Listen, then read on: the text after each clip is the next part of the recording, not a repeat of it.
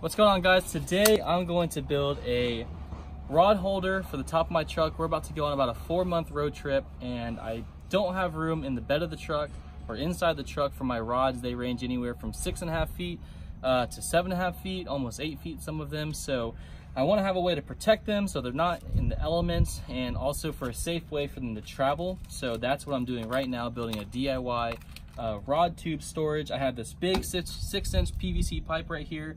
And I also picked these up. Um, they're by Ultra Tow, but there's a few different brands like Reese, and they allow, they're end caps for this tube right here.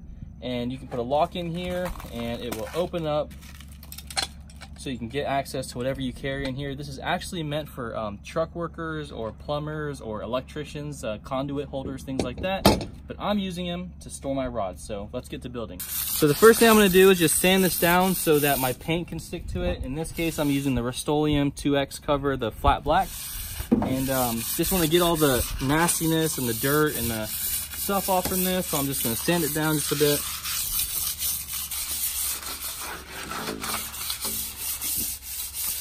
All right, next I'm just gonna use this paper towel just to get off like all that PVC shredded stuff and just kind of wipe that down a little bit. All right, now that the surface is all uh, sanded up, let's get to spraying, doing some light coats.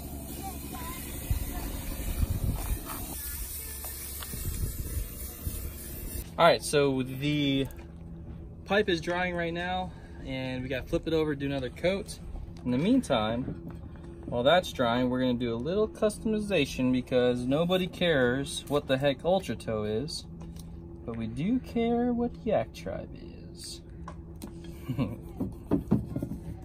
High quality customization right there. Y'all are, what are you laughing at, Shan? My camera woman is laughing at me right now. It's a good idea.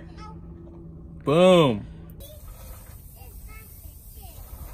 All right, so the next step is to get this mounting started here. Um, I'm actually gonna put some silicone in here before I drill these just to make sure it's watertight. And uh, yeah, let's do that first.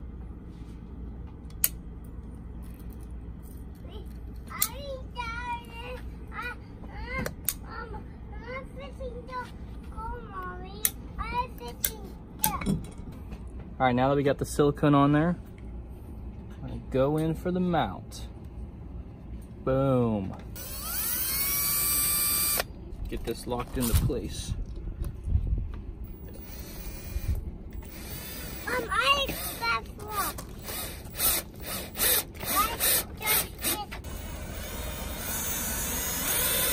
Then we got the next one. This is the locking part. And you can put a lock right there. We get this one lined up. Put some silicone in there. Just want to make sure it's nice and uh, waterproof. Yeah.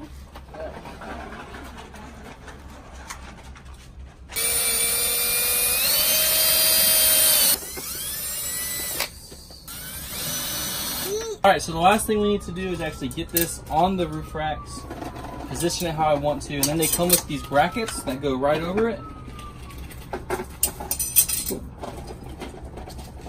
And then they've got these little bars here, and then you just use these little nuts right here to get them cinched down, and you're good to go. And then once this is all done here the next few days, I'm gonna print two like 30 inch Yak Tribe decals and finish this off with the nice Yak Tribe decals.